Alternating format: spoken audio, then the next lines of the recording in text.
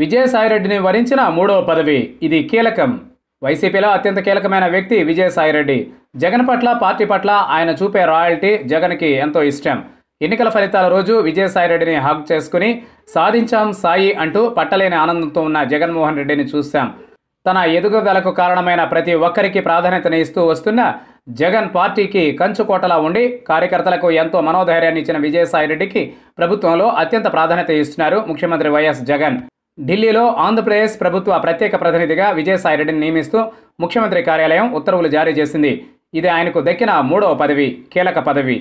ఆయన Andhra Pradesh Olympic association చైర్మన్గా నియమితులయ్యారు. దీని అధ్యక్ష పదవిని ధర్మాన కృష్ణదాస్కు అప్పగించారు జగన్. ఇందులో మొత్తం ఎనిమిది మంది కమిటీలు అనుబంధ కమిటీలు విజయసాయిరెడ్డి ఆధ్వర్యంలో పనిచేస్తాయి. ఆ నిర్ణయం అనంతరం విజయసాయిరెడ్డికి మరో కీలక పదవి అప్పజెప్పారు జగన్. వైసీపీ ఎంపీలను అందరినీ సమన్వయంతో నడిపించాల్సిన పార్లమెంటరీ పార్టీ నేతగా విజయసాయిరెడ్డికి అవకాశం కల్పించారు జగన్. అంటే రాజ్యసభలో పార్టీకి నాయకత్వం వహించడంతో పాటు ఇరు సభల్లోనూ ఉన్న అందరు వైసీపీ ఎంపీలకు విజయసాయిరెడ్డి నాయకత్వం వహిస్తారు. ఇది అధికారిక రాజకీయ పదవి పార్టీ పరంగా కీలక పదవి. అసెంబ్లీ నాయకుడు జగన్ అయితే పార్లమెంటు వైసీపీ నాయకులు విజయసాయిరెడ్డి అన్నట్లు.